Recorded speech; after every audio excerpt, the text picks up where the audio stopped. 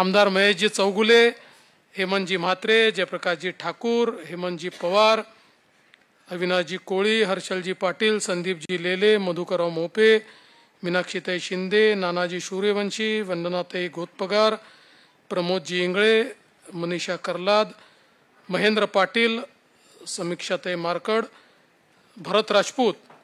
आता जर कोणाचं नाव सुटलं असेल तर आता यादी तयार करणाऱ्याची चूक आहे ती माझी आता चूक नाही आहे आणि उपस्थित सर्व माझ्या कार्यकर्ता भगिनी आणि बंधूंनो सर्वप्रथम मी आपल्या सर्वांचं मनपूर्वक अभिनंदन करतो की लोकसभेच्या निवडणुकीमध्ये ठाणे जिल्ह्यात आणि कोकण विभागात आपल्या महायुतीला तुमच्या सगळ्यांच्या आशीर्वादानं प्रचंड यश प्राप्त झालं. काही लोकांनी अशी गर्जना केली होती की आम्ही महायुतीला तडीपार करू. कोकणाने त्यांना कोकणातनं तडीपार केलं. आणि या ठिकाणी कोकणातल्या साडेसहा जागांपैकी साडेसहा म्हणजे मावळची जागा थोडी कोकणात येते म्हणून साडेपाच जागा या महायुतीच्या निवडून आल्या. एक केवळ भिवंडीची जागा येऊ शकली नाही ती काय येऊ शकली नाही हे आपल्या सगळ्यांना त्याची कल्पना आहे भिवंडीत काय घडलं आहे जे मुंबऱ्यात घडलं तेच भिवंडीत घडलं. पण ठीक आहे ते देखील आपण सुधारू काही अडचण नाही आहे. पण त्याच्या व्यतिरिक्त प्रचंड अशा प्रकारची चं यश हे कोकणाने आपल्याला दिलं.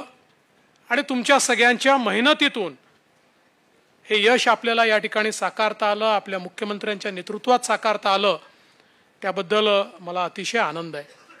आणि आता त्याच्या पाठोपाठ कोकण पदवीधर मतदारसंघाची निवडणूक ही आपल्यासमोर या ठिकाणी आलेली आहे.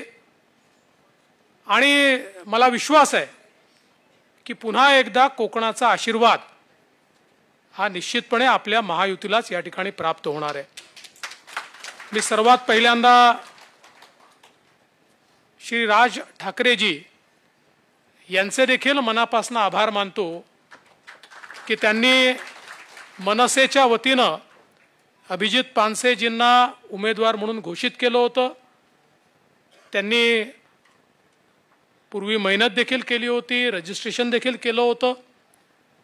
पण आम्ही राज ठाकरेजींना विनंती केली की निरंजन डावखरे आपले सिटिंग अशा प्रकारचे इथले आमदार आहेत. आणि आपण महायुतीमध्ये सगळे एकत्रित काम करतो आहोत. नुकतंच आपण लोकसभेमध्ये देखील अतिशय चांगल्या प्रकारचं काम या ठिकाणी केलं आहे आणि म्हणून तुम्ही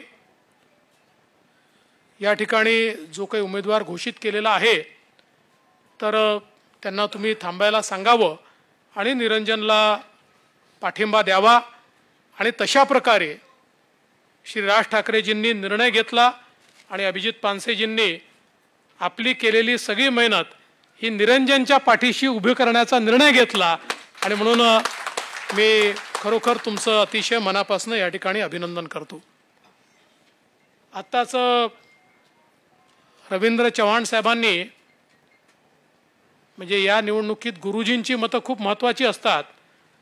तसं गुरुजींप्रमाणे नीट वोटिंग कसं करायचं ते वोटिंग कसं काढायचं आणि वोटिंग करता काय काय पथ्य पाळायची या सगळ्या गोष्टी आपल्यापुढे सांगितलेल्या आहेत. त्यामुळे त्याच्यामध्ये रिपिटेशन करण्याची आवश्यकता नाही आहे आणि निरंजन डावखरे यांच्यासारखा एक अतिशय तरुण तडफदार अशा प्रकारचा आपला उमेदवार आहे.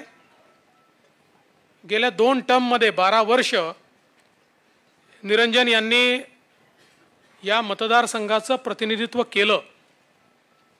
आणि आपल्या स्वभावाने आपल्या संपर्काने सर्वांना जिंकणारा अशा प्रकारचा आपला उमेदवार आहे. विशेषतः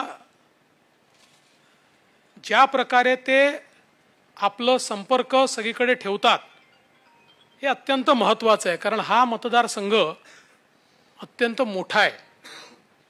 या ठिकाणी अख्खं कोकण त्याच्यामध्ये येतं. जवळपास मला वाटतं का एकोणचाळीस मतदारसंघ विधानसभेचे याच्यामध्ये येतात. त्यामुळे इतका मोठा सगळा पसार आहे. पण तरी देखील विधान परिषदेमध्ये पदवीधरांचे प्रश्न तर त्यांनी मांडलेच. पण जनसामान्यांचे जे प्रश्न होते ते प्रश्न देखील अत्यंत पोटतिडकीने त्यांनी मांडले. आणि सभागृहातला परफॉर्मन्स देखील त्यांचा हा अतिशय चांगला राहिलेला आहे. विधान परिषदेतला एक अतिशय सीईएन न्यूज देश प्रदेश की ताजा तरीन खबरों के लिए सीईएन न्यूज को सब्सक्राइब करें और रहें पल पल की खबर से हर पल बाखबर।